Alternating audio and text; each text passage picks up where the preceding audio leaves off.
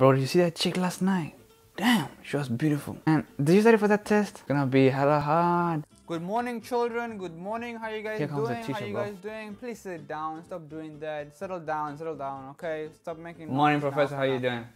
All right. So you know today we're gonna do the test like I told you guys, chapter one to twenty-one. You know, um, it's gonna be a really hard test. This It's gonna be thinks accumulative. He's So so, cool. 70% What the heck? Just give You're gonna the go towards the test final of and the let's get semester. So if you fail this show. test, you're finished. You're gonna fail. You're gonna go work for your dad's construction company. Ah, this clown is you taking you're gonna be digging 70% of this Please, for Balkwan, sit down. Stop making a noise. Ah, this guy is mad. Thank you. All right, here you go, Bob Kwan. Pass the test over.